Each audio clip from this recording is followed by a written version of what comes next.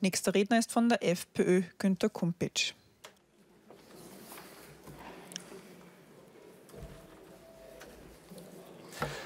Sehr geehrter Herr Präsident, sehr geehrte Mitglieder der Bundesregierung, Häushaus, nach wie vor haben wir eine starke illegale Zuwanderung unter dem Deckmantel des Asyls. Nach wie vor gibt es ein Mehr an Gegengesellschaften. Nach wie vor gibt es ein Mehr am politischen Islam, am radikalen Islamismus. Und wir haben straffällige Ausländer, die man seit Jahren nicht abschieben kann, weil die nötigen Rückführungsabkommen fehlen. Und was tut diese Regierung, die Gott sei Dank bald Geschichte ist? Anstatt die Notbremse zu ziehen, schaltet sie nicht einmal mehr einen Gang zurück. Ja, glauben Sie wirklich, dass das heute zu beschließende Gesichtsverhüllungsgesetz eine Maßnahme ist, ein geeignetes Mittel, um den Einfluss des politischen Islam zurückzudrängen?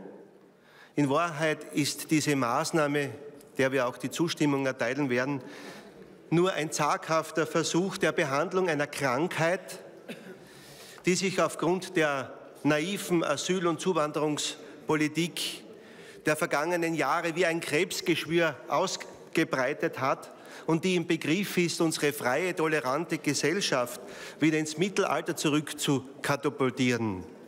Geschätzte Kolleginnen und Kollegen, uns ist allen bewusst, dass wir nicht tatenlos zusehen dürfen, dass durch öffentliche Verteilung von radikalen Gedankengut Menschen aufgehetzt, verhetzt oder sogar in den Dschihad getrieben werden. Das wissen wir. Es gibt, auch wenn es nur in den Erläuterungen steht und wie es Kollege Rosenkranz schon gesagt hat, Verteilungsaktionen, wie zum Beispiel die Lies-Verteilungsaktion, wo der Koran verteilt wurde durch radikale Islamisten, zu verhindern. Aber der Ansatz, den man gewählt hat, nämlich hierfür die Straßenverkehrsordnung zu verwenden, das ist unseres Erachtens ein falscher Ansatz. Ich habe Herrn Minister Sobotka im Ausschuss gefragt, ob er wisse, in wie vielen Fällen es äh, in den vergangenen Jahren zu Situationen gekommen ist, wo die Behörden äh, sozusagen diese nun zu beschließende Regelung gebraucht hätten. Er hat oder er konnte es mir nicht beantworten.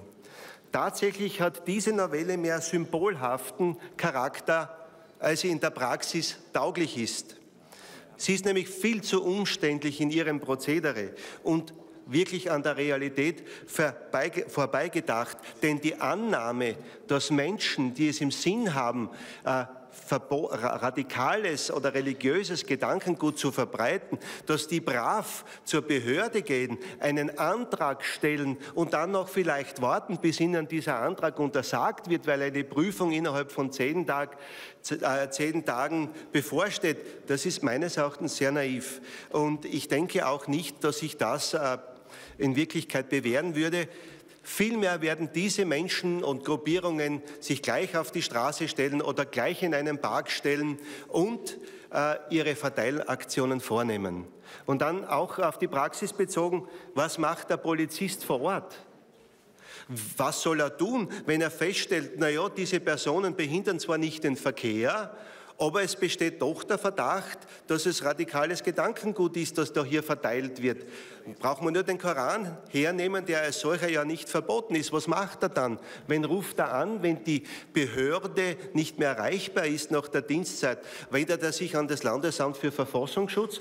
Oder was soll er machen? Und wer wird entscheiden? Wenn eines hat man schon übersehen, man hätte schon eine Möglichkeit gehabt, legistisch zu reagieren, weil nach 82 Absatz 6 Straßenverkehrsordnung kann ein Organ der Straßenaufsicht, das ja Polizisten zweifelsohne sind, eine Tätigkeit auf der Straße kurzzeitig untersagen.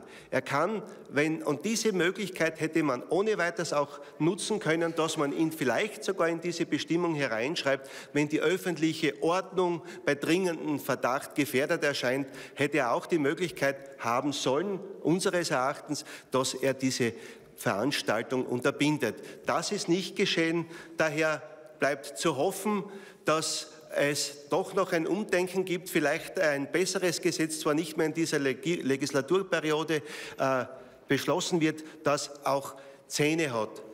Und aus diesem Grunde denke ich mir, es ist wieder mal ein Versuch, etwas zu tun, aber etwas nur zu tun um des Tuns willen kann nicht äh, der Sinn der Lösung sein. Und aus diesem Grunde denke ich, es ist höchste Zeit für Neuwahlen. Danke. Die Novelle habe nur symbolhaften Charakter, sie sei an der Realität vorbeigedacht, meint Günter Kumpitsch von der FPÖ.